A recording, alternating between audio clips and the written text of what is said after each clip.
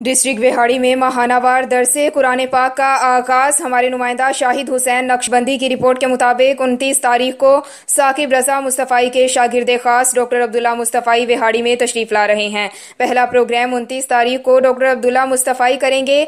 दूसरा प्रोग्राम अक्टूबर की सत्ताईस तारीख को तनवीर सालक मुस्तफ़ाई करेंगे। ये प्रोग्राम फ्रीद जॉयलैंड में मुनद होगा और हर महीने मोहम्मद साकिब रजा मुस्तफ़ाई के शागिर्द खास बिहाड़ी की सरजमीन पर तशरीफ़ लाएँगे। मोहम्मद नईम शहजाद का कहना है, इस वक्त हमें सबसे ज़्यादा ज़रूरत दरस कुरान की है और ये दरस कुरान की दावत तमाम मुसलमानों के लिए है।